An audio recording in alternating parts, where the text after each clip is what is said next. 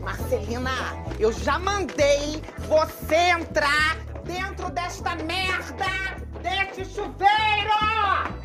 Eu vou se eu quiser. Se eu quiser, sua imunda! Lá!